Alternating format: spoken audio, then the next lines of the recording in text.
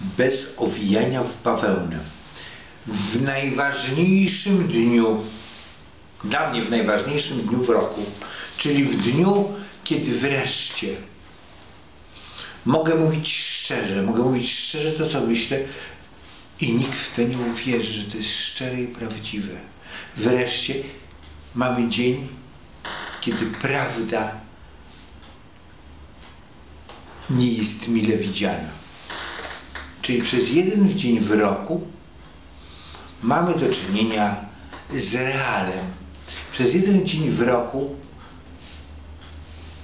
kłamstwo zajmuje swoje miejsce na świeczniku.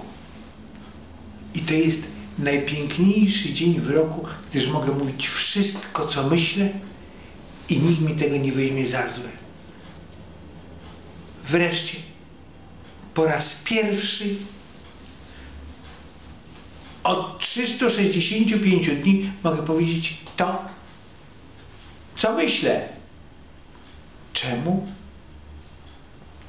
Ponieważ szczerość, szczerość jest tym, co nam zostało wmuszone w dzieciństwie. Mamy być szczerzy, uczciwi i prawdomówni.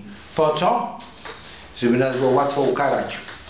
Że jeżeli szczerze się przyznam, że to ja zeżarłem tę czekoladę, która była przygotowana dla gości, to dostanę szczerą karę. A jeżeli się nie przyznam, to będzie ok.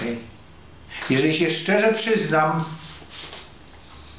że nie poszedłem do kościoła, to dostanę dodatkowych szczerych 20 zdrowasiek jako pokutę.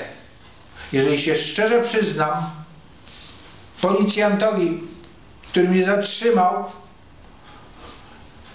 że nie mam aktualnego przeglądu technicznego, to dostanę szczerze po łapach. I dlatego, kochani, informuję Was, nie ma gorszej rzeczy jak szczerość. Niech żyje prima aprilis, ponieważ szczerość została wymyślona po to, żeby nas było łatwiej ukarać. I dlatego szczerość jest wymysłem tych, którzy chcą nam zrobić krzywdę. Dlatego niech żyje prima aprilis, najpiękniejszy dzień w roku.